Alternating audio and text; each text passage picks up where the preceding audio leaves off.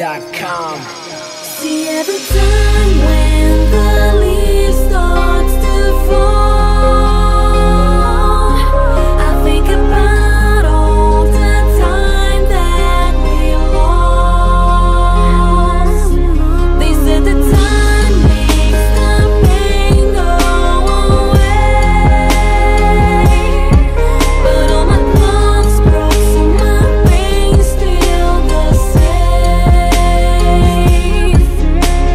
French Schmerz ist immer noch derselbe wie damals mit 15, als ich im Heim saß für meine Sünden. Ohne Bereitschaft, mich zu ergründen. Nur mit Gewalt, Hass und ein paar Fünfen würd's keinem wünschen.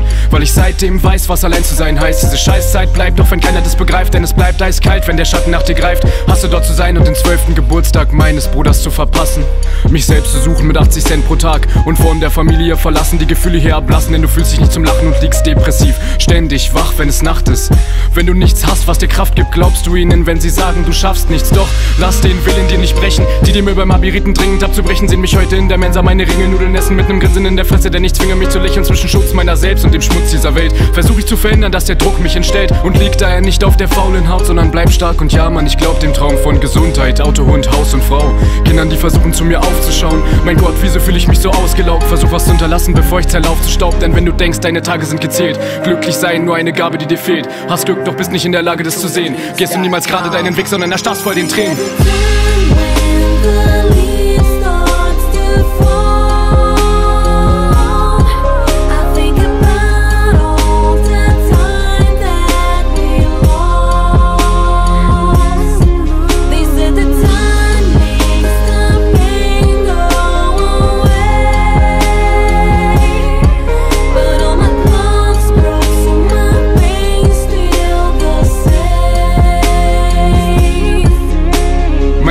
Ist immer noch derselbe wie damals mit 17, als ich nicht wusste wohin.